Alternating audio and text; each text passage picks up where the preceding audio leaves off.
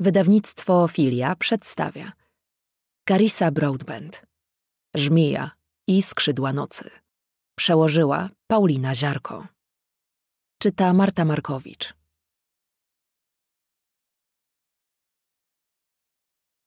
Od autorki. Książka ta zawiera tematykę, która może być trudna dla niektórych czytelników, włączając w to brutalność, tortury, poza materiałem, wspomnienia gwałtu, cofnięta zgoda, samookaleczenie, znęcanie się emocjonalne, niewolnictwo i odniesienia do znęcania się seksualnego.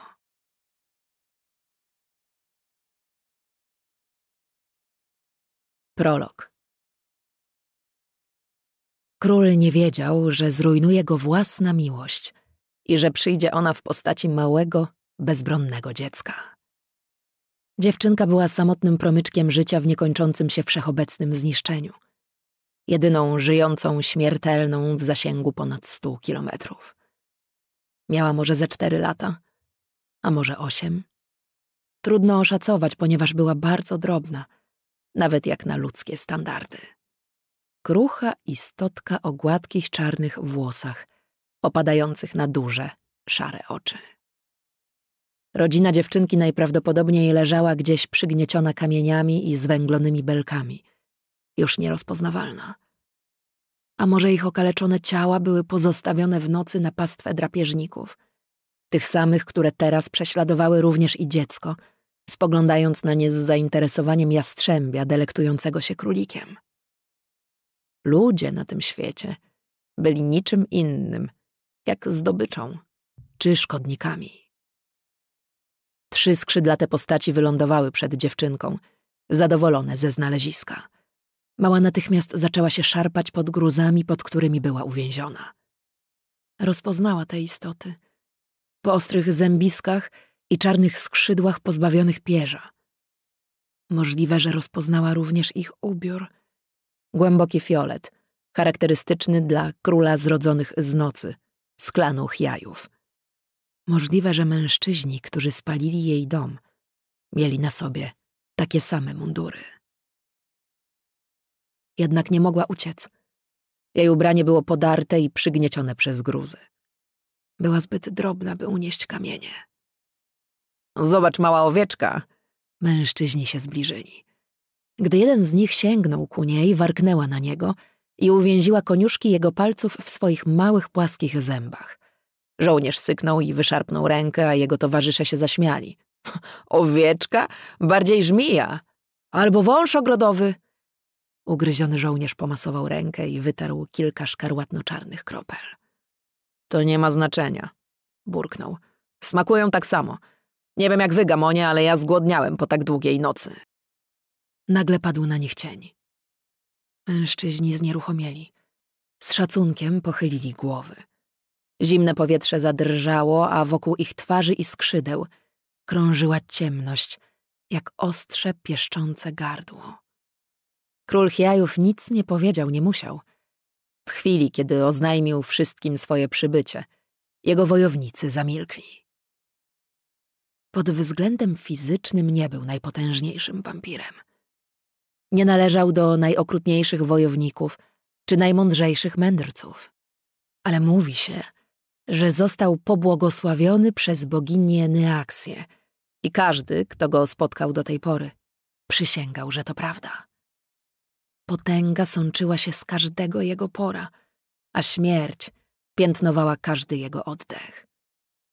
Jego żołnierze nie odezwali się słowem, kiedy przeszedł po ruinach domu. Riszanie zostali wyeliminowani. Zaryzykował jeden z żołnierzy po dłuższej chwili. Reszta naszych ludzi wyruszyła na północ i... Król uniósł dłoń, by uciszyć wojownika. Ukląkł przed dziewczynką, która spoglądała na niego groźnie. Taka młoda, pomyślał. Jej życie, kilka nędznych lat, było niczym w porównaniu do setek lat, które on przeżył. Mimo to miała w spojrzeniu tak wielką nienawiść, w tych jasnych, srebrzystych jak księżyc oczach. Tutaj ją znaleźliście? Zapytał król. Tak, panie. Czy to ona jest odpowiedzialna za krew na twojej ręce? Przez żołnierzy przetoczyła się fala zduszonego chichotu. Tak, panie. Odpowiedź była raczej nieśmiała. Pomyśleli, że król się z nich naśmiewa. Nie. To nie miało nic wspólnego z nimi. Władca sięgnął ku dziewczynce. Ugryzła i jego. Pozwolił jej na to. Nie cofnął ręki, nawet kiedy jej maleńkie zęby utonęły w jego kościstym palcu wskazującym. Spojrzała mu w oczy bez mrugnięcia, a król odwzajemnił spojrzenie z rosnącym zainteresowaniem. Nie było to spojrzenie przestraszonego dziecka, które nie wiedziało, co czyni. To było spojrzenie istoty, która zrozumiała, że przeciwstawiała się śmierci i mimo to postanowiła napluć jej w twarz. Mała żmija, mruknął. Mężczyźni za nim się zaśmiali. Zignorował ich. To nie był żart. Jesteś sama? Zapytał łagodnie. Dziewczynka nie odpowiedziała. Nie mogła mówić z zębami wbitymi w jego skórę. Jeśli mnie uwolnisz, nie zrobię ci krzywdy, powiedział. Dziecko nie posłuchało, cały czas mierząc go morderczym spojrzeniem, a czarna krew skapywała mu z brody. Kąciki ust króla powędrowały ku górze. Dobrze? Nie powinnaś mi ufać. Uwolnił palec, a następnie wyswobodził dziewczynkę spod gruzów. Milczała, nawet w ferworze oporu. Dopiero gdy król ją podniósł, była tak lekka, że mógł utrzymać ją jedną ręką. Zrozumiał, jak bardzo jest ranna. Całe jej podarte ubranie przesiąkło krwią. Gdy przycisnął ją do klatki piersiowej, słodki zapach zaatakował jego nozdrza. Balansowała na granicy nieświadomości, ale pokonała ją. Odpoczywaj, żmijko. Nic ci nie grozi. Król pogłaskał jej policzek. Próbowała go ponownie ugryźć, ale w tym momencie po koniuszkach jego palców przeszła iskra magii. Wraz z szeptem nocy przyszedł sen o niczym. Zbyt ciężki, by z nim walczyć, nawet dla tej agresywnej, małej istoty. Co mamy z nią zrobić? zapytał jeden z żołnierzy. Król ich minął i odparł: Nic, zabiorę ją. Zapadła cisza. Król choć ich nie widział, wiedział, że wymieniali między sobą zaskoczone spojrzenia. Dokąd? Padło w końcu kolejne pytanie. Do domu, odparł król. Dziewczynka spała. Jedną rączkę zacisnąwszy na jego jedwabnej bluzce. Wciąż we śnie walczyła na swój dziecięcy sposób. Dom. Zabierze ją do domu.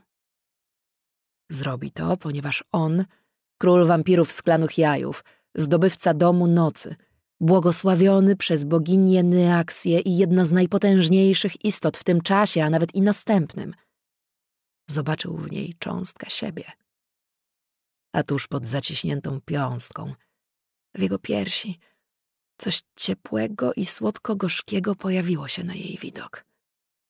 Coś groźniejszego niż głód. Setki lat później historycy i uczeni powrócą do tego momentu, do tej decyzji, która pewnego dnia obali imperium. Jaki zaskakujący wybór, szeptaliby. Dlaczego to zrobił? Właśnie.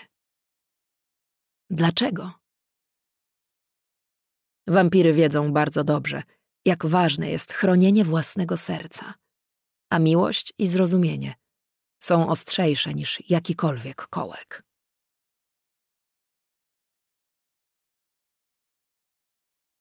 Część pierwsza. Zmierzch. Rozdział pierwszy. Zaczęło się od treningu.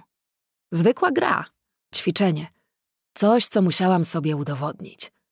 Nie miałam pojęcia, kiedy ten mój wstydliwy, ukryty bunt stał się sportem.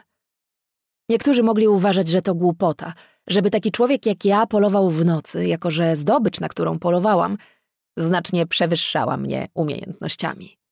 Jednak funkcjonowała w nocy, tak jak ja. Przycisnęłam się do ściany ze sztyletem zaciśniętym w dłoni. Noc była ciepła. Zupełnie jakby gorąco przykleiło się do parującej wilgoci długo po zachodzie słońca. Zapach zawisł w powietrzu jak gęsta, zgniła chmura. Chmura zjełczałego jedzenia z ulicznych śmietników, ale także rozkładającego się mięsa i kwaśnej krwi. Wampirów nie obchodziło sprzątanie po sobie w ludzkich dzielnicach należących do domu nocy. Ludzie mieli być bezpieczni za murami królestwa. Byli to mieszkańcy słabsi od zrodzonych z nocy pod każdym względem. Ale ta druga prawda często powodowała unieważnienie tej pierwszej. Ten mężczyzna był chiajem ze skrzydłami ukrytymi na plecach. Nie wydawało się, by dobrze władał magią, ponieważ nie zlikwidował zdobyczy, by ułatwić sobie polowanie. A może po prostu bawił się sytuacją? Niektórzy zachowywali się bardzo teatralnie. Lubili, kiedy się ich bano.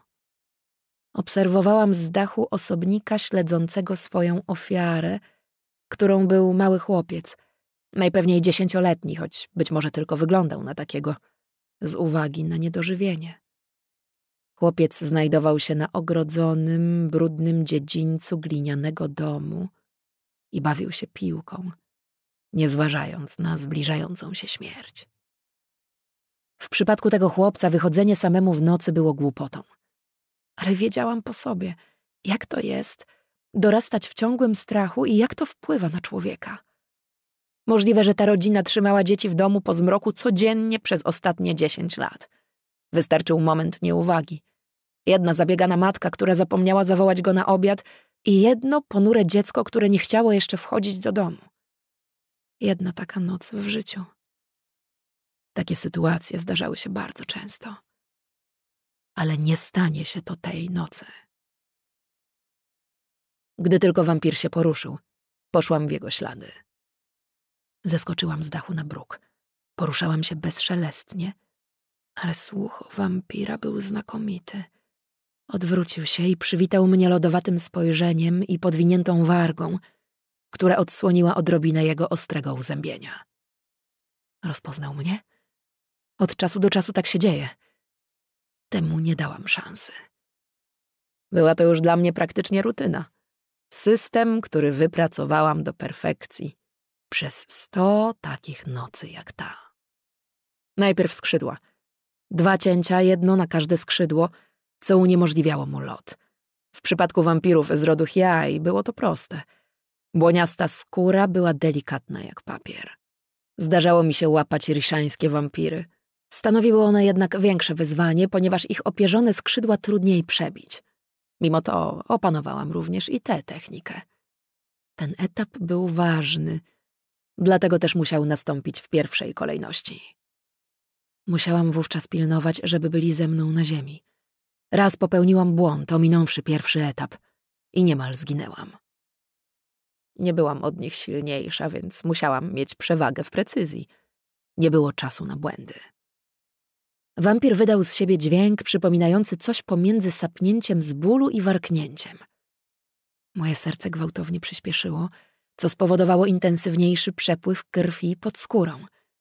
Zastanawiałam się, czy to wyczuł. Całe życie próbowałam to ukryć, ale teraz byłam za to wdzięczna. Zgłupieli przez to. Ta ofiara losu nie była nawet uzbrojona, a wciąż rzucała się na mnie, nie zważając na nic. Kochałam to. Naprawdę kochałam, kiedy nie traktowali mnie poważnie. Wbiłam ostrze w jego bok, tuż pod żebrami. Kolejny cios sięgnął gardła. Niewystarczający, żeby zabić, ale na tyle skuteczny, że wampir się zachwiał. Pchnęłam go w kierunku ściany, jedną klingą, przyszpilając go, by nie mógł się poruszyć. Pokryłam końcówki broni Dchajfintch szybko działającym paralitykiem. Był on silny, choć krótkotrwały. Działał tylko przez kilka minut, ale tyle mi wystarczyło. Wampir zdołał tylko zadrapać mi policzek swoimi ostrymi jak brzytwa pazurami, po czym zaczął słabnąć. Gdy tylko zauważyłam jego szybkie mrugnięcia, jak gdyby chciał oprzytomnieć, zamarłam. Musisz pchnąć mocno, żeby przeszło przez mostek. Tak zrobiłam, wystarczająco mocno, żeby przebić kość i mieć drogę wolną do serca. Wampiry były ode mnie silniejsze pod każdym względem. Miały bardziej muskularne ciała, były zwinniejsze i posiadały ostrzejsze uzębienie. Ale ich serca były miękkie. W chwili, gdy mój sztylet wbijał się w ich klatkę piersiową, zawsze słyszałam głos mojego ojca. Nie odwracaj wzroku, żmijko, szepnął Vincent do mojego ucha. Nie odwracam. Ani wtedy, ani teraz, ponieważ wiem, co ujrzę tam, w ciemności.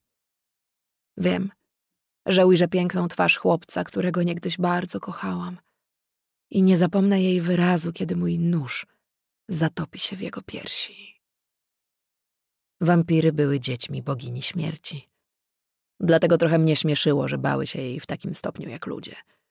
Obserwowałam je cały czas i widziałam strach malujący się na ich twarzach, gdy docierało do nich, że były jej kolejnymi ofiarami. Przynajmniej w tym się nie różniliśmy. Przynajmniej, koniec końców, wszyscy byliśmy pieprzonymi tchórzami. Wampirza krew była ciemniejsza od ludzkiej, prawie czarna, jakby spożywana przez wieki krew ludzka i zwierzęca warstwa po warstwie ją przyciemniły. Gdy tylko wampir upadł, byłam cała w tej krwi. Odsunęłam się od ciała. Dopiero wtedy się zorientowałam, że obserwowała mnie rodzina. Działałam bezszelestnie, ale nie na tyle, żeby znajdując się tuż przed ich drzwiami, uniknąć ich uwagi. Chłopiec był teraz uwięziony w ramionach matki. Stali obok nich mężczyzna oraz drugie dziecko, młodsza dziewczynka. Byli wychudzeni w prostych ubraniach, wyświechtanych przez długie, pracowite dni. Cała czwórka stała w progu i wbijała we mnie spojrzenia. Zmroziło mnie, jak jelenia przyłapanego w lesie przez tropiciela. Zadziwiające, że to ci głodujący ludzie, nie wampir, spowodowali, że z łowcy stałam się zwierzyną. Może stało się tak dlatego, że kiedy byłam pośród wampirów, wiedziałam, czym byłam. Ale kiedy spojrzałam na tych ludzi, granice się zatarły i zniekształciły. Poczułam, jakbym obserwowała swoje karykaturalne odbicie. A może to ja byłam tym odbiciem? Byli jak ja. Nie mieliśmy jednak ze sobą nic wspólnego. Wyobraziłam sobie, że jeśli otworzyłabym usta, by coś do nich powiedzieć, nie zrozumielibyśmy nawet dźwięków, które byśmy wydawali. Wyglądali dla mnie jak zwierzęta. Ta okropna prawda była prawdopodobnie tą częścią mnie, która była nimi zniesmaczona, tak samo jak ja byłam zniesmaczona wszystkimi moimi ludzkimi wadami. Istniała też druga część mnie. Możliwe, że ta, która pamiętała, że swego czasu mieszkałam w takim domu – i pragnęła się zbliżyć. Nie mogłam tego oczywiście uczynić. Nie. Nie byłam wampirzycą. To było oczywiste i każdy dzień mi o tym przypominał. Ale też nie byłam jedną z nich. Poczułam na policzku uderzenie zimna. Dotknęłam twarzy palcami, po czym odsunęłam je. Mokre. Deszcz. Dźwięk kropel przerwał niezręczną ciszę.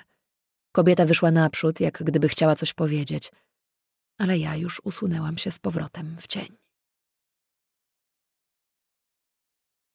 Nie mogłam się powstrzymać, by nie obrać tym razem dłuższej trasy. Zazwyczaj szłam prosto do swojego pokoju w zachodnich wieżach, ale teraz wspięłam się na wschodnią, skacząc po murach ogrodu i zmierzając ku kwaterom służących. Wślizgnęłam się do środka przez okno, które wychodziło na rozrośnięty krzak z kwiatami w kolorze indygo – połyskujących srebrem w świetle księżyca. Gdy tylko dotknęłam stopami podłogi, zaklełam, bo prawie potknęłam się o coś, co wyglądało na lejącą się tkaninę, usłaną na gładkim drewnie pod moimi butami. Dobiegł mnie śmiech przypominający krakanie. Po chwili przerodził się w kaszel. Jedwab, powiedziała kobieta skrzeczącym głosem. Idealna pułapka na złodziei. To miejsce jest tragiczne, Ilana, E, tam! Okrążyła kąt i przyjrzała mi się zwężonymi oczami, wciągając dym z cygara i pozwalając, by uleciał jej nosem. Była ubrana w kaskadowy szyfon barwy morskich fal. Czarnosiwe włosy upięła na czubku głowy, co dodało im godnej podziwu objętości. Z jej uszu zwisały złote kolczyki. Natomiast zmarszczki wokół oczu były pokryte odcieniami szarego i niebieskiego. Makijaż zaakcentowała skromną kreską proszku antymonowego. Jej mieszkanie było tak kolorowe i chaotyczne jak ona sama. Ubrania, biżuteria i krzykliwa kolorystyka wystroju. Weszłam przez okno w jej salonie i zamknęłam je, by ochronić wnętrze przed deszczem. Miejsce jej zamieszkania było skromne, ale znacznie wygodniejsze niż gliniane, rozpadające się slamsy w ludzkich dzielnicach. Obejrzała mnie od stóp do głów, pocierając kark. Nie przyjmuję żadnej krytyki od takiego szczurzego odpadku jak ty. Spojrzałam po sobie i zbladłam. Dopiero teraz w ciepłym świetle lampionu zauważyłam, w jak potwornym stanie byłam. Nikt by się nie domyślił, że pod tym wszystkim jesteś urodziwa, Oraja, kontynuowała Ilana. Trupy powodują, że wyglądasz bardzo nieatrakcyjnie. Co mi właśnie o czymś przypomniało? Mam coś dla ciebie, proszę. Sięgnęła swoimi guzowatymi, artretycznymi dłońmi do wymiętego stosiku obok siebie, po czym rzuciła w moim kierunku garść tkaniny. Łap! Złapałam, a następnie rozwinęłam. Długość jedwabnego pasa niemal dorównywała mojemu wzrostowi, a wspaniały głęboki fiolet miał brzegi zdobione złotem. Przywiodło mi na myśl ciebie. Ilana oparła się o framugę drzwi i wciągnęła kolejną porcję dymu. Nie pytałam, gdzie zdobyła coś takiego. Wiek nie zwrócił jej palcom zgrabności. Nie były również mniej kleiste. Zatrzymaj to, nie noszę takich rzeczy, wiesz o tym. Dzień w dzień nosiłam wyłącznie czerń i prosty ubiór, który nie przykuwał wzroku i zapewniał wygodę w poruszaniu się. Nigdy nie zakładałam jasnych rzeczy, zwracały niepotrzebną uwagę. Luźnych, pozwalały się złapać, czy ograniczających ruch, mogły mieć negatywny wpływ na moje umiejętności walki albo przeszkadzać w ucieczce. Nosiłam skórzane spodnie przez większość czasu, nawet w upalne letnie dni. Chroniły mnie i nie rzucały się w oczy. Oczywiście mogłam podziwiać piękne rzeczy w takim stopniu jak inni, ale byłam otoczona przez drapieżniki. Przeżycie było ważniejsze od próżności. Ilana prychnęła. Wiem, że to lubisz, szczurku. Nawet jeśli boisz się to nosić. Ogromna szkoda. Marnujesz młodość już w młodości. I piękność. To twój kolor. Możesz nawet tańczyć z tym nago w swojej sypialni. Nie interesuje mnie to. Uniosłam brew i spojrzałam na jej skarbnicę kolorów. Czy to robisz ze swoim? Mrugnęła do mnie. To i jeszcze więcej. Nie udawaj, że ty tego nie robisz. Ilana nigdy nie była w moim pokoju, a jakimś sposobem znała mnie na tyle dobrze, że wiedziała o mojej szafce wypełnionej małymi, kolorowymi drobiazgami, które kolekcjonowałam przez lata. Drobiazgami, które były zbyt ostentacyjne, bym mogła je nosić w tym życiu. Ale nie przeszkadzało mi marzyć o przyodzianiu ich w kolejnym wcieleniu. Nieważne, ile razy próbowałam jej to wyjaśnić, Ilana nie rozumiała mojej ostrożności. Wielokrotnie dała mi jasno do zrozumienia, że następował koniec dyskusji. Kropka, mówiła przezornie. Szczerze mówiąc, nie miałam pojęcia, jak ta stara nietoperzyca przeżyła tak długo, ale byłam za to wdzięczna. Ludzie, których widziałam w slumsach dzisiaj rano, nie byli jak ja, a otaczające mnie wampiry tym bardziej. Jedynie Ilana wahała się gdzieś pomiędzy obydwoma światami, tak jak ja choć z różnych powodów. Ilana dołączyła do tego świata dziesięć lat temu, podczas gdy ja się w nim wychowałam. Jako nastolatka byłam nią zafascynowana. Spotkałam kilku innych ludzi i wówczas nie zorientowałam się, że Ilana była wyjątkowa, nawet pośród ludzi. Ilana ponownie dotknęła swojej szyi. Zobaczyłam, że materiał, który trzymała w ręce, nie był pierwotnie czerwony – Zbliżyłam się i dostrzegłam rany na jej gardle. Trzy pary podwójnych ukłuć. Jej nadgarstek pod bandażem zawierał neaksja wie, ile jeszcze takich ran. Zaśmiała się, co spowodowało, że wyraz mojej twarzy się zmienił. Był dzisiaj syty obiad, powiedziała. Dobrze mi za to zapłacono, kiedy przystojniacy ssali moją szyję całą noc. Moja młodsza wersja byłaby zachwycona. Nie mogłam się zmusić nawet do cienia uśmiechu. Tak, nie wiedziałam, jakim cudem Ilana przeżyła do tej pory. Większość dobrowolnych dawców krwi, których było bardzo niewielu, zabijano w ciągu roku. Zbyt dobrze wiedziałam, jak wampiry nie radzą sobie z samokontrolą, jeśli chodzi o głód. W kwestii niektórych spraw ani Ilana, ani ja nigdy byśmy się nie zgodziły. Znikam na jakiś czas, powiedziałam, zmieniając temat. Tylko to chciałam ci powiedzieć, żebyś się nie martwiła. Twarz Ilany pociemniała. Nawet w słabym świetle zobaczyłam na niej dwa blade cienie. A to kanalia, czyli to robisz. Nie chciałam o tym dyskutować, chociaż wiedziałam, że było to nieuniknione. Powinnaś pomyśleć o tymczasowym opuszczeniu śródmieścia, kontynuowałam. Idź do dzielnic, wiem, że ich nie znosisz, ale tam przynajmniej pieprzyć to. To Kejari, Ilano. Nie jesteś tu bezpieczna. Żaden człowiek nie jest bezpieczny poza chronioną dzielnicą. Chronioną dzielnicą, tymi slamsami.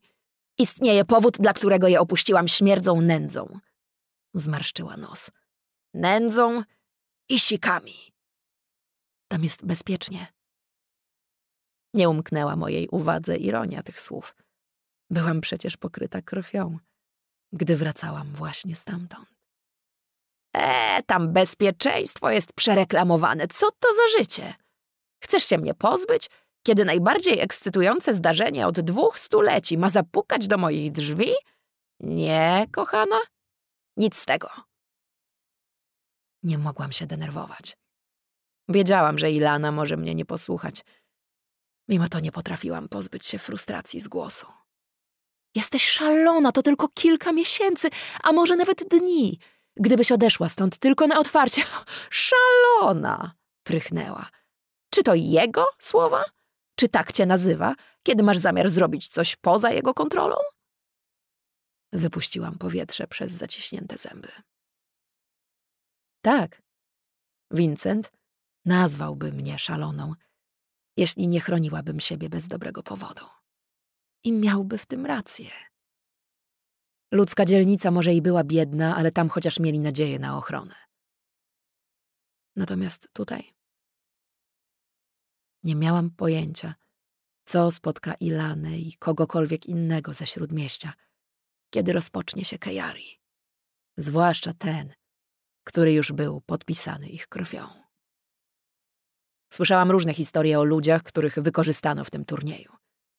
Nie byłam pewna, co było prawdą, a co ubarwieniem, ale to sprawiało, że przewracało mi się w żołądku. Czasem chciałam zapytać o to Vincenta, ale wiedziałam, że pomyśli, że martwię się o siebie. Nie chciałam, by martwił się o mnie bardziej niż teraz. Ponadto nie do końca był świadomy tego, jak bardzo z Ilaną zbliżyłyśmy się do siebie przez ostatnie kilka lat. Wielu rzeczy Vincent nie wiedział. Na przykład o cząstkach mnie, które nie łączyły się z jego wizją odnośnie do mojego pochodzenia. Tak samo jak Ilana nigdy nie zrozumiałaby niektórych faktów dotyczących mojej osoby. Mimo wszystko nie wiedziałam, co bym zrobiła bez nich. Nie miałam tu rodziny. Ktokolwiek był ze mną w domu w dniu, kiedy Vincent mnie znalazł, nie żył. Jeżeli miałam pozostałych przy życiu krewnych, byli uwięzieni gdzieś, gdzie nie miałam dostępu. Przynajmniej dopóki nie wygram Kajari. Ale miałam Vincenta i Ilanę, którzy stali się wszystkim, czego pragnęłabym od rodziny. Nawet jeśli żadne z nich nie rozumiało mnie w pełni. Teraz, kiedy możliwość stracenia Ilany stała się rzeczywistością, strach ścisnął mi serce i odmówił uwolnienia go. Ilano, proszę. Mój głos był dziwnie napięty. Opuść to miejsce. Proszę. Ilana złagodniała. Odłożyła cygaro do przepełnionej popielniczki i podeszła do mnie na tyle blisko, że mogłam policzyć zmarszczki wokół jej oczu. Musnęła mój policzek twardą skórą dłoni. Mm, pachniała jak dym i zbyt intensywne różane perfumy. I jak krew. Jesteś słodka, powiedziała. Ostra, ale słodka, choć nieco kwaśna. Tak jak. jak ananas. Ku mojemu zaskoczeniu kąciki moich ust drgnęły. Ananas? Co za bzdurne słowo. Znając ją, pewnie je wymyśliła. Jestem jednak zmęczona, słonko. Zmęczona życiem w ciągłym strachu. Opuściłam dzielnicę, ponieważ chciałam przekonać się, jak to jest mieszkać tutaj. I było to niesamowitą przygodą, tak jak się tego spodziewałam. Przebywając tutaj, codziennie ryzykuję życie, tak jak i ty. Nie musisz podchodzić do tego nierozsądnie. Brak troski jest już uważany za bunt. Również doskonale zdajesz sobie z tego sprawę. Nawet jeśli poupychasz kolory w głąb swojej szafki. Rzuciła wzrokiem na moje ubranie pokryte krwią. Nawet jeśli ukryjesz to w cieniu alejek dzielnicy. Proszę, Ilano, chociaż na tydzień, mimo że Kejari jeszcze się nie skończy, zobacz. Sięgnęłam po szal. Weź tę krzykliwą rzecz i daj mi ją, kiedy wrócisz, a mogę nawet obiecać, że będę to nosić. Milczała przez dłuższą chwilę, po czym odebrała jedwab i włożyła go do kieszeni. W porządku. Wyruszę rano.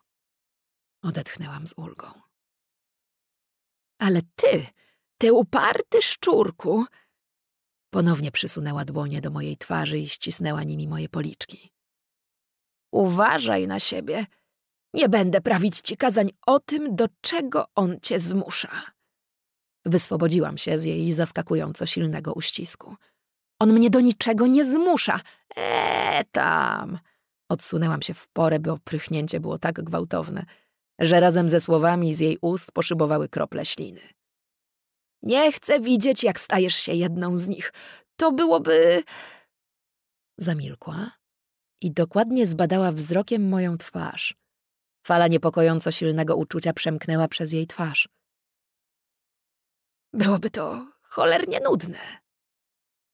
Nie to chciała powiedzieć. Byłam tego pewna. Miałyśmy taką relację. Cała surowa szczerość i nieprzyjemna czułość były ukryte.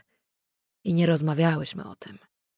Tak jak ja nie przyznałabym się, że brałam udział w Kejari, tak ona nie powiedziałaby na głos, że się o mnie boi. Mimo to przestraszyła mnie, będąc na granicy płaczu. Dopiero teraz zrozumiałam, że miała tylko mnie. Ja, w przeciwieństwie do niej, miałam jeszcze Vincenta, ale ona była sama. Spojrzałam na zegar i zaklełam. Muszę iść, powiedziałam i wróciłam pod okno. Nie zapij się na śmierć, starucho. Nie nabij się na ten kij ze swojej dupy, odparła, wycierając oczy. Jej wcześniejsza wrażliwość odeszła w zapomnienie. Stara wariatka, pomyślałam z miłością. Otworzyłam okno i pozwoliłam, by letni deszcz uderzył mnie w twarz. Nie planowałam się zatrzymywać, ale coś ciężkiego osiadło na końcu mojego języka.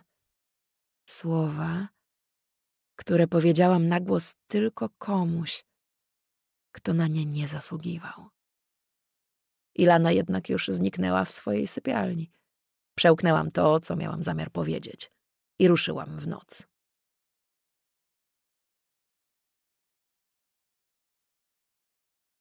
Rozdział drugi. Brzawka szybko zmieniła się w ulewę. Typowe dla domu nocy. Vincent często żartował w swój oschły, sardoniczny sposób, że ten kraj nigdy nie miał nic umiarkowanego. Słońce albo przypalało swoim gorącem, albo chowało się całkowicie za ciemnymi, czerwono-szarymi chmurami. Powietrze było jałowe i tak gorące, że omal paliło żywcem. Lub wystarczająco zimne, by zmrozić stawy. Przez część czasu księżyc uciekał za mgłę, ale kiedy wychodził, świecił jak wypolerowane srebro, a jego światło było tak intensywne, że tworzyło wgłębienia i pagórki z piachu, które przypominały fale oceanu. A przynajmniej tak sobie te fale wyobrażałam. W królestwie zrodzonych z nocy nie padało często, ale kiedy już zaczęło, to lało jak z cebra. Gdy dotarłam do zamku, byłam przemoczona. Droga po ścianie budowli była zdradliwa, ponieważ każdy kamień był śliski. Ale to nie był pierwszy raz, kiedy podróżowałam w deszczu i na pewno nie ostatni. Kiedy w końcu weszłam do mojej komnaty sypialnej, znajdującej się wysoko nad ziemią, mięśnie płonęły z wysiłku. Woda skapywała mi z włosów.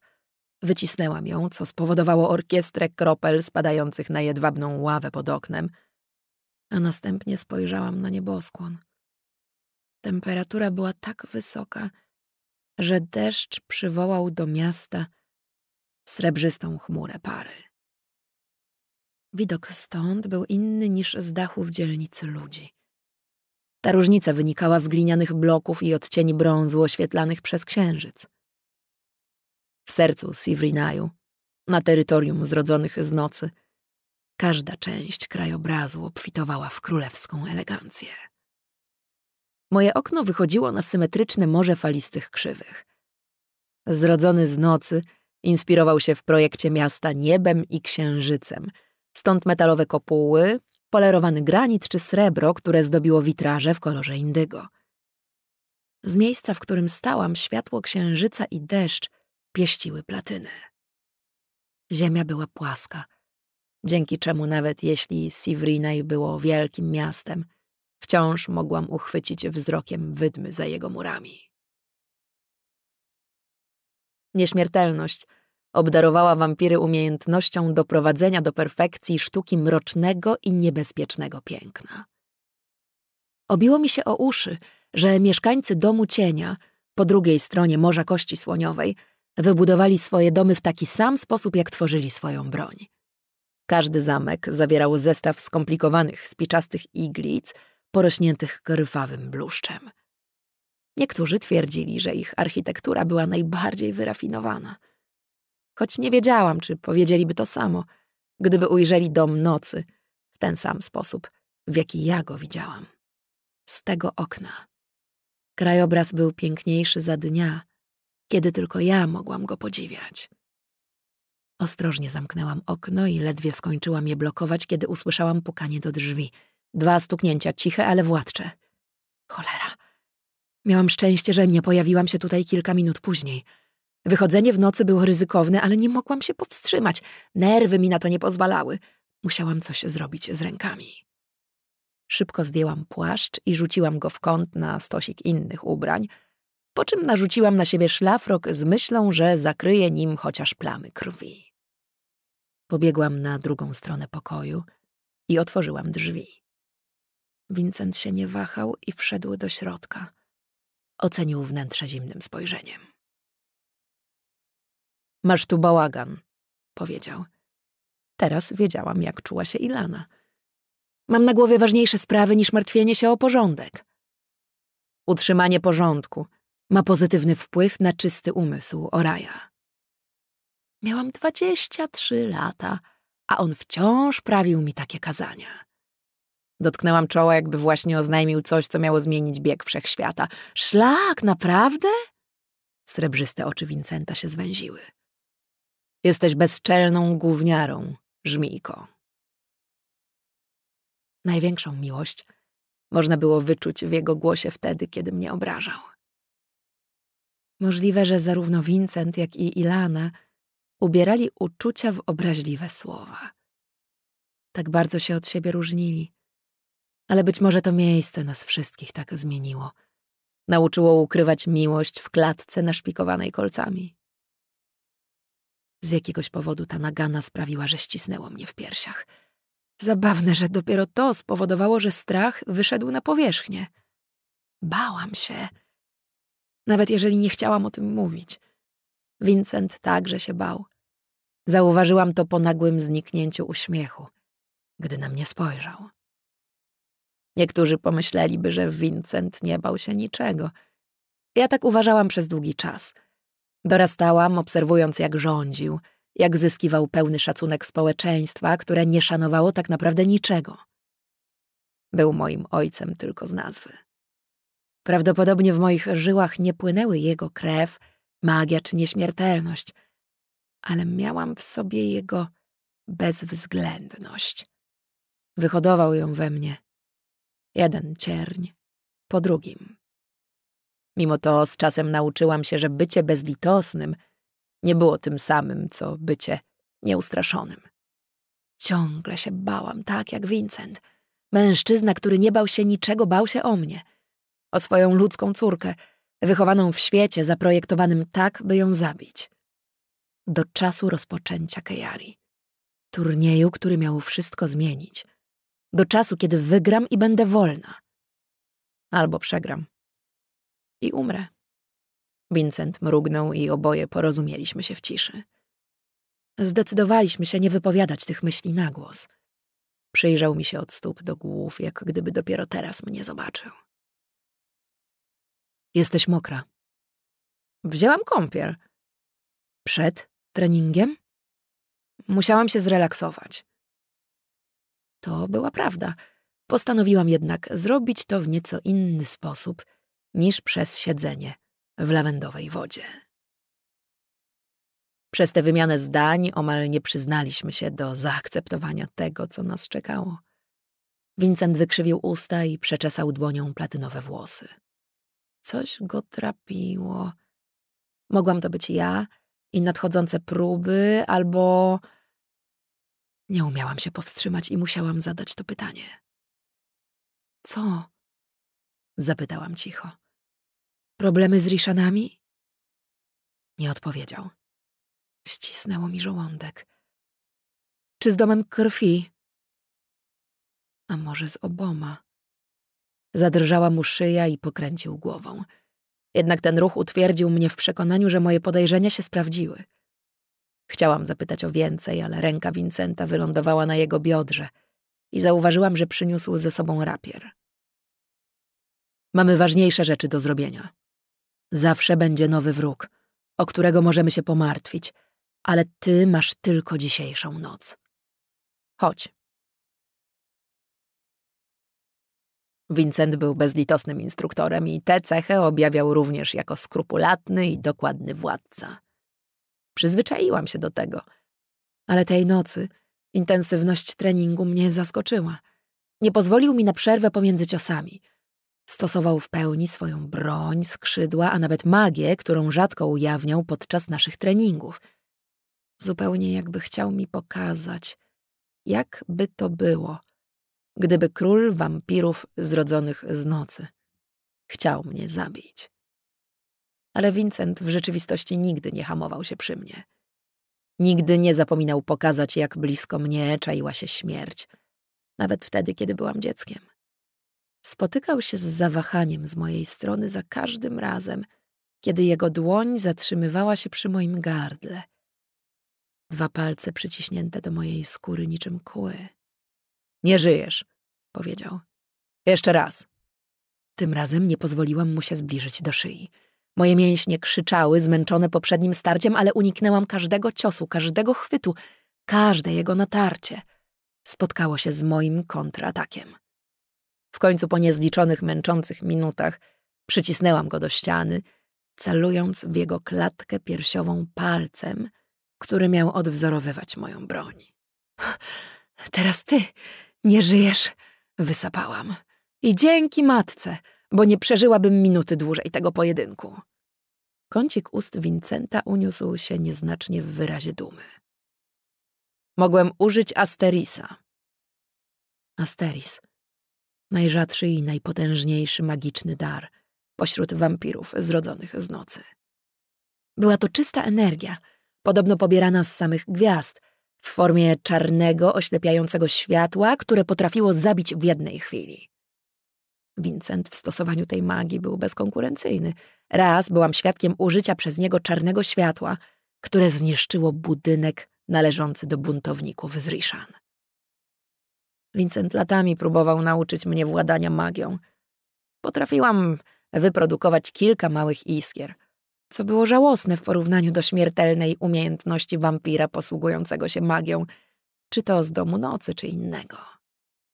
Przez moment sama myśl, ponowne przypomnienie sobie o tym, że byłam gorsza od wojowników, z którymi miałam się zmierzyć, przyprawiła mnie o zawroty głowy.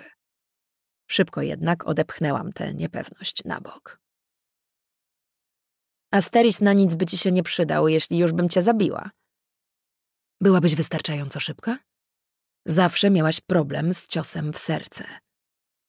Musisz pchnąć mocno, żeby przeszło przez mostek. Wróciłam myślami do niechcianego wspomnienia.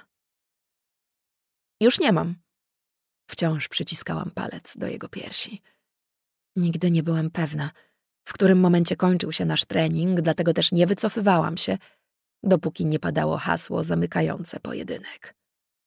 Znajdował się zaledwie kilka centymetrów ode mnie. Kilka centymetrów od mojego gardła. Nigdy nie pozwoliłam żadnemu wampirowi zbliżyć się na taką odległość. Zapach mojej krwi był dla nich przytłaczający. Nawet jeśli wampir chciał się temu oprzeć, a rzadko się to działo, mógł nie powstrzymać się w porę. Vincent nauczył mnie, żeby nigdy nikomu nie ufać, nigdy się nie poddawać i zawsze strzec swojego serca. Jeśli go nie posłuchałam, płaciłam za to ogromną cenę. Ale nie z nim.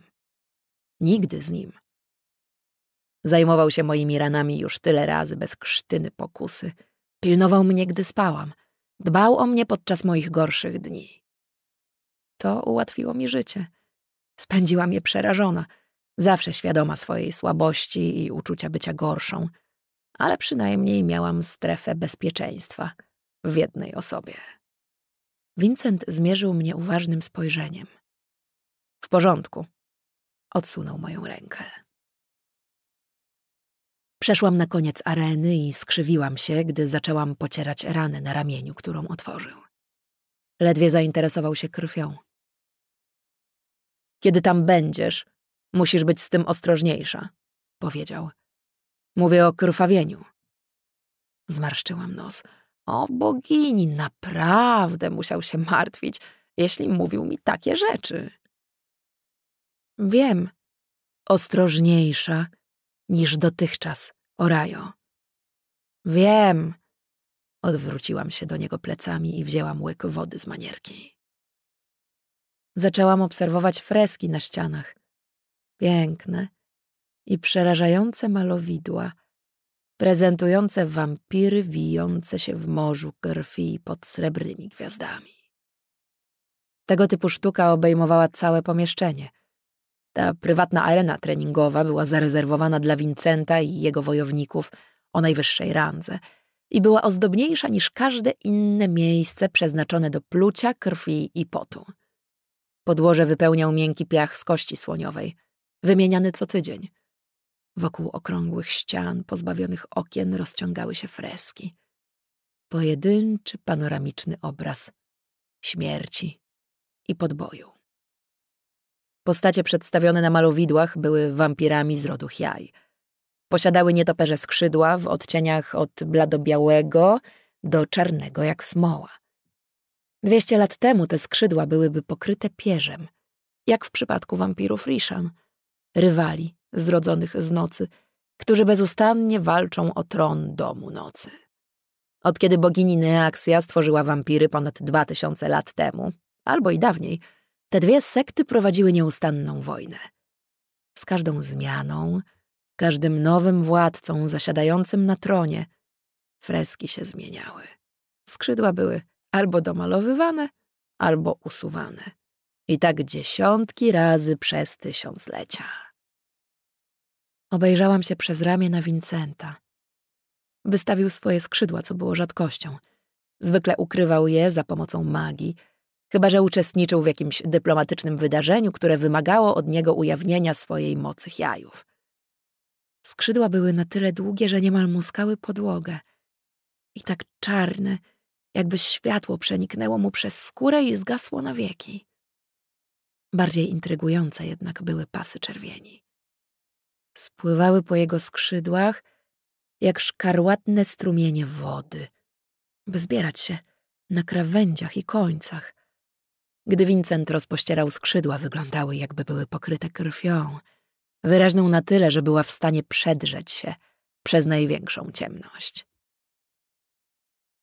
Kolor czarny był rzadkością, ale nie był niespotykany. Czerwony jednak był unikatowy. Każdy spadkobiercach jajów albo riszan był naznaczony dwoma znamionami. Czerwonym na skrzydłach i jeszcze jednym na ciele, które pojawiało się po śmierci poprzedniego władcy. Znamie Vincenta znajdowało się u podstawy jego gardła, tuż nad obojczykiem. Był nim ozdobny, przyciągający wzrok kształt, przypominający księżyc w pełni i skrzydła. Zamykał się na jego szyi jak krwawiąca rana. Widziałam to znamie tylko kilka razy. Zazwyczaj ukrywał je pod wysokimi kołnierzami kurtek albo czarnym jedwabiem, ciasno zawiązanym wokół szyi. Gdy byłam młodsza, zapytałam, dlaczego nie pokazuje tego częściej. Posłał mi wówczas poważne spojrzenie i stwierdził, że nierozważnym jest zostawiać odkryte gardło. Taka odpowiedź nie powinna mnie dziwić. Vincent był doskonale świadomy tego, że na każdym kroku można było spotkać uzurpatorów, zarówno poza murami, jak i wewnątrz nich. Każdy nowy król, Kiai czy Rishan, był koronowany na stosie trupów. On nie był wyjątkiem. Odwróciłam się od malowidła, kiedy powiedział łagodnie: Zbliża się pełnia księżyca. Powinnaś mieć jeszcze kilka dni, ale może się to zacząć w każdej chwili. Musisz być przygotowana. Upiłam kolejny łyk wody. Mimo to moje usta smakowały jak popiół. Wiem. Wszystko może być początkiem. Ona lubi, kiedy jest to niespodziewane. Ona. Matka nocy, cieni, krwi. Matka wszystkich wampirów. Bogini Neaksja. W każdym momencie może rozpocząć hołd, który odbywał się raz na sto lat i który dom nocy odprawiał na jej cześć.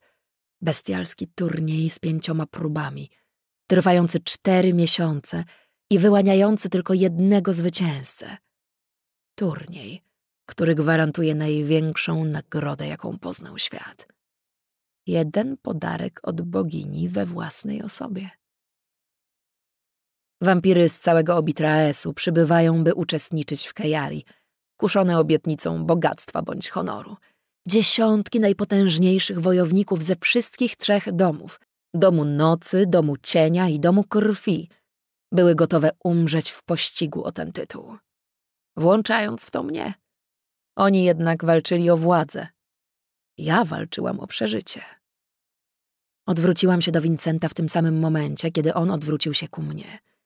Zawsze był blady i jego skóra była niemal koloru jego srebrnych oczu, ale teraz zdawało się, że przybrała odcień chorowitej szarości. Jego strach spowodował, że moje przerażenie stało się nie do wytrzymania. Ale zwalczyłam je obietnicą. Nie. Trenowałam całe życie tylko po to. Przeżyję Kejari. Wygram. Zupełnie jak zrobił to Vincent dwieście lat temu. Odchrząknął i się wyprostował. Ubierz się w coś przyzwoitszego. Idziemy zobaczyć twoją konkurencję.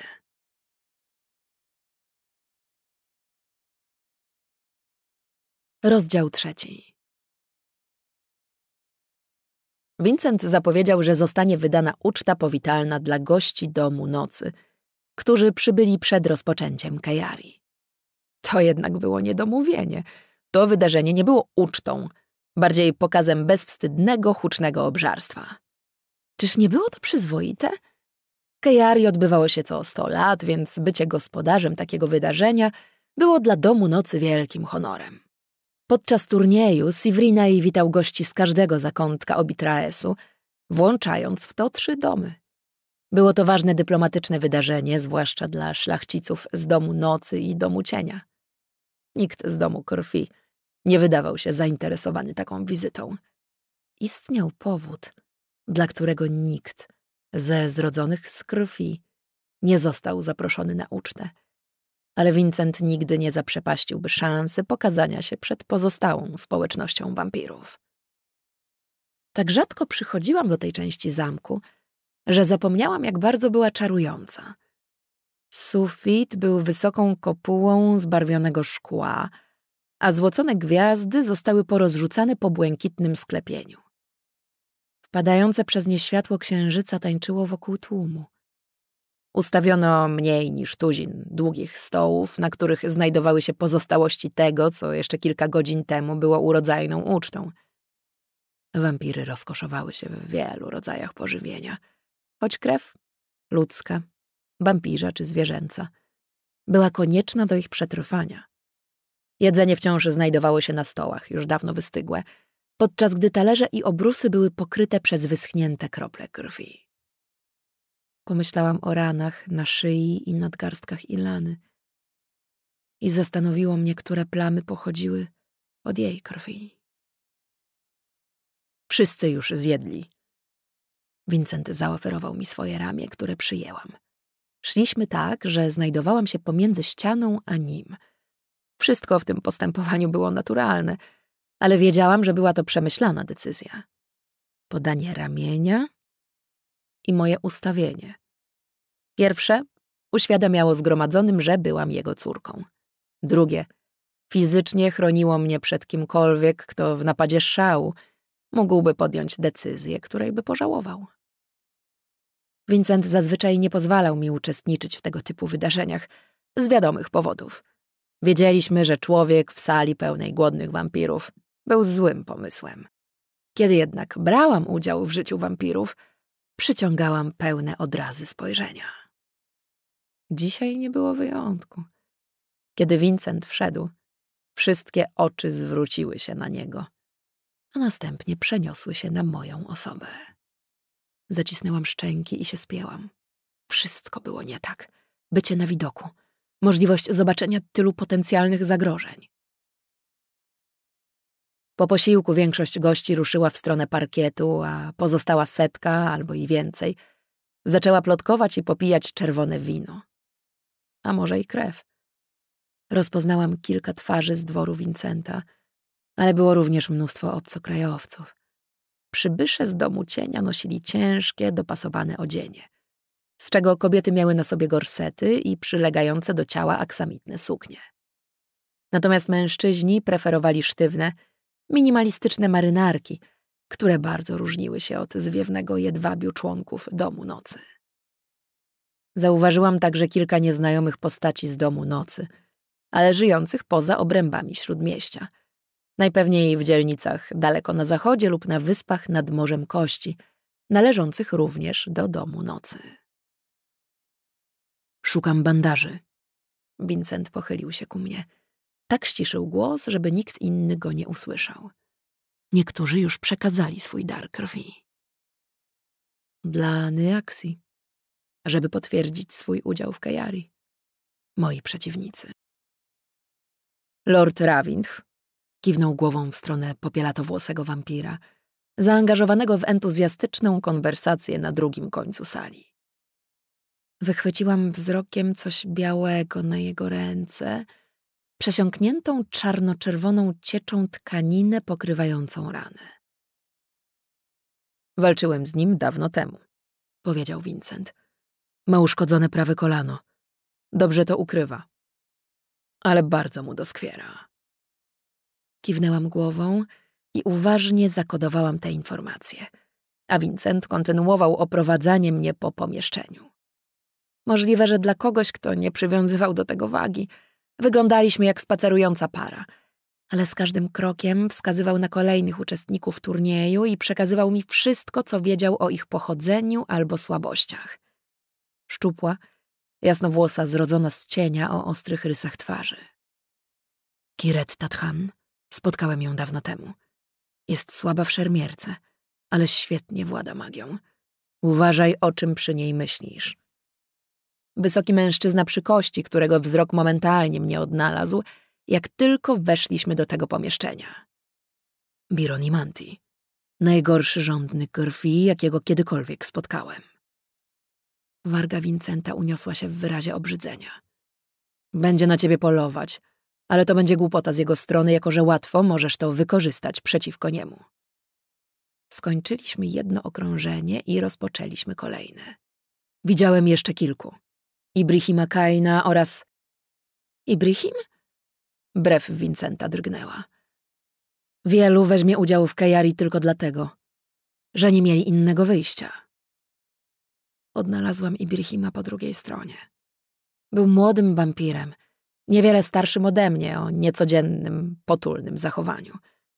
Jak gdyby wyczuł mój wzrok i spojrzał na mnie z podkręconej czarnej czupryny. Posłał mi słaby uśmiech, który ukazał puste dziąsła pozbawione kłów. Obok znajdowała się jego matka.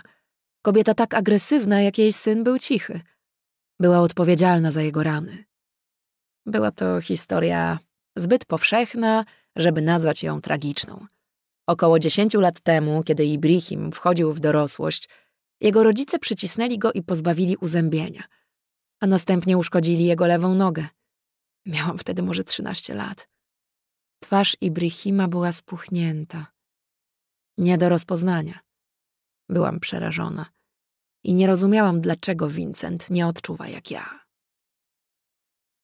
Nie zrozumiałam wówczas, że wampiry żyły w ciągłym strachu przed własną rodziną. Nieśmiertelność zmieniła dziedziczenie w krwawy biznes. Nawet Vincent zamordował rodziców i trójkę rodzeństwa, by uzyskać swój tytuł. Wampiry zabijały rodziców w celu zdobycia władzy, a następnie okaleczały swoje potomstwo, by to nie dążyło do tego samego. Satysfakcjonowało to ich ego w teraźniejszości i zabezpieczało ich przyszłość. Ich ród będzie się rozwijał, ale dopiero gdy będą na to gotowe. Kejari da przynajmniej Ibrahimowi szansę odzyskania godności. Albo wampir zginie, próbując ją odzyskać. To jednak wciąż... Chyba nie uważa, że ma szansę wygrać. Mruknęłam. Vincent zerknął na mnie ukradkiem. Zapewne wszyscy tutaj myślą podobnie jak ty. Nie mylił się. Otoczyła nas przytłaczająca chmura liliowego zapachu. Tu jesteś, panie, Zniknąłeś, zaczynałam się martwić. Odwróciliśmy się. Jasmin podeszła do nas i zarzuciła falę gładkich, brązowych włosów za odsłonięte ramię. Była ubrana w bogatą czerwoną suknię przylegającą do jej bujnego ciała. W przeciwieństwie do większości jajów obecnych tutaj, odsłoniła swoje popielate skrzydła.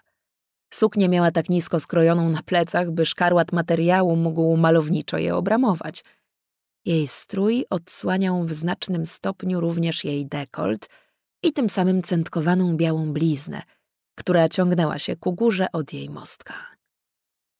Nigdy nie wstydziła się eksponować ani dekoltu, ani blizny. Wcale jej się nie dziwiłam. Jej dekolt był obiektywnie imponujący, a blizna miała własną historię. Podobno Jesmin przeżyła kołkowanie. Na jej miejscu też dzień w dzień obnosiłabym się z taką pamiątką. Kąciki ust Vincenta drgnęły. Jak wiesz, moja praca nigdy się nie kończy. Jasmin uniosła karmazynową szklankę. Jak najbardziej, zamruczała. Niech mnie ziemia pochłonie. Nie byłam pewna, co powinnam sądzić o nowo mianowanej dowódczyni straży Vincenta. Rzadkością było osiągnięcie przez kobietę w domu nocy takiej pozycji, na którą awansowały jedynie trzy kobiety na przestrzeni ostatniego tysiąclecia i szanowałam te decyzje. Byłam jednak trenowana całe moje życie, by nie ufać.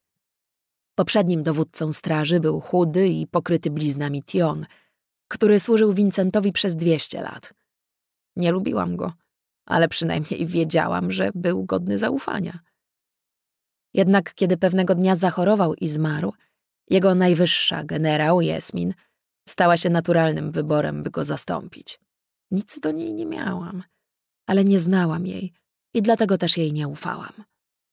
Może dbałam tylko o swoje terytorium? Vincent zdawał się ją lubić. Nachylił się ku niej. Wyglądasz ślicznie, mruknął. To takie dla niej typowe. Nie mogłam powstrzymać cichego prychnięcia.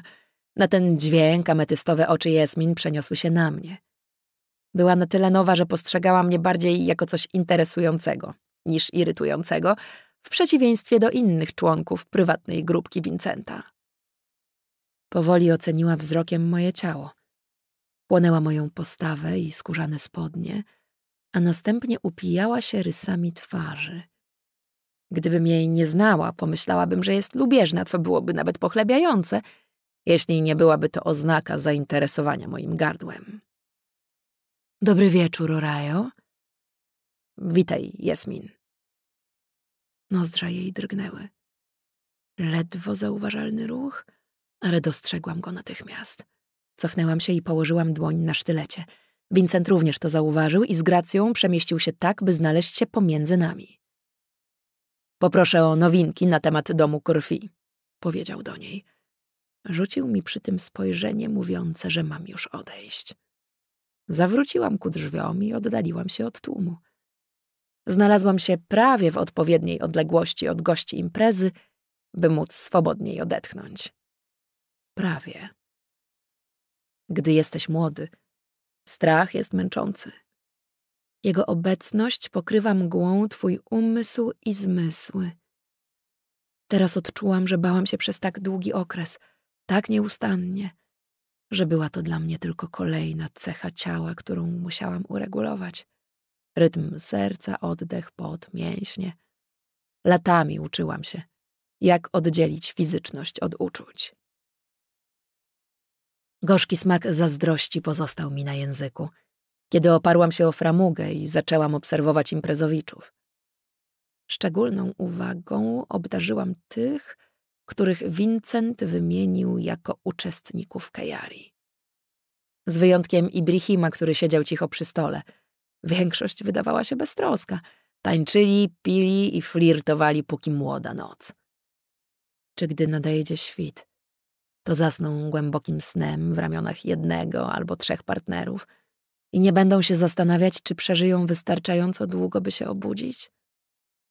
A może wiedzą już, jak to jest leżeć z oczami utkwionymi w sufit, ze świadomością zbliżającej się ku nim bogini śmierci. Spojrzałam na drugi koniec sali. Postać była tak nieruchoma, że niemal ją przegapiłam – Coś jednak było w niej dziwnego i musiałam się na niej zatrzymać, nawet jeśli na początku nie wiedziałam dlaczego. Po kilku sekundach obserwacji zrozumiałam, że to nie była jedna rzecz, ale kilka. Stał plecami do mnie po drugiej stronie sali balowej, daleko od rozpusty panującej na parkiecie. Przyglądał się jednemu z obrazów, które zdobiły ściany. Nie byłam w stanie dostrzec szczegółów z tej odległości, ale doskonale znałam to dzieło sztuki. Było najmniejsze w sali. Płótno było wąskie i długie, z plamkami, które na górze w odcieniu indygo tworzyły gwiazdy. Im niżej, tym kolory ciemniały, aż do osiągnięcia głębokiej czerwieni. Obraz przedstawiał samotną postać, wampira z rodu Rishan, spadającego – i w połowie drogi ku swojej śmierci, zastygłego w centrum malowidła. Jego nagie ciało było prawie w pełni zakryte czarnymi opierzonymi skrzydłami, a jedną rękę wyciągał przed siebie i z desperacją sięgał ku czemuś, co tylko on mógł widzieć, albo czego po prostu my nie byliśmy w stanie dostrzec. Po przejęciu władzy przez Chiajów tylko kilka obrazów powstałych z ręki Rishan pozostało w zamku. Większość została albo zniszczona, albo przemalowana tak, by przedstawiała wampiry z rodu Chiajów. Nie wiedziałam, dlaczego ten przetrwał. Być może zachowano go dlatego, że prezentował porażkę Rishana spadającego w otchłań piekieł i nawet niebiosa, które wzywał mu nie pomogły. To dzieło nie przyciągało zbytniej uwagi w porównaniu do majestatycznych malowideł sąsiadujących z nim. Świętowanie krwawej sprawiedliwości lub wielkiego zwycięstwa. Było ono ciche, smutne. Gdy zobaczyłam je po raz pierwszy jako dziecko, ścisnęło mnie w klatce piersiowej. Wiedziałam, jak to jest być słabym, a ten jeden upadły Riszan, kołysany skrzydłami, które nie potrafiły posłać go z powrotem w powietrze – sięgający po wybawcę, którego dosięgnąć nie mógł, to była jedyna wskazówka, którą widziałam i która potwierdzała, że wampiry mogły borykać się z własną słabością. Możliwe, że dlatego zainteresował mnie ten mężczyzna, ponieważ patrzył na ten obraz, który nie przyciągnął uwagi nikogo innego. Był wysoki, najpewniej wyższy niż większość wampirów, i szeroki w ramionach. Miał na sobie purpurową marynarkę przyciętą tuż przy jego korpusie oraz brązową szarfę przewiązaną w pasie. To również było dziwne. Styl ten był podobny do jedwabiów, które nosiły inne wampiry zrodzone z nocy, ale cięcie było zbyt ostre, a kontrast za odważny. Włosy miał ciemnoczerwone, niemal czarne, opadające na ramiona burzliwymi falami. Niespotykana długość. Rada Domu Nocy nie rekomendowała ani puszczonych luźno długich włosów, ani bardzo krótkich fryzur.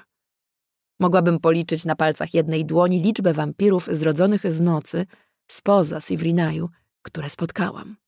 Może poza murami królestwa styl ubierania się i bycia miały inne, ale wciąż... Zerknął przez ramię prosto na mnie. Jego oczy były koloru rdzawo-czerwonego, wystarczająco wyrazistego, by zauważyć go z przeciwnej strony sali. Czaiła się w nich ciekawość. Mimo to intensywność tego spojrzenia mnie przytłoczyła. Coś było nie tak.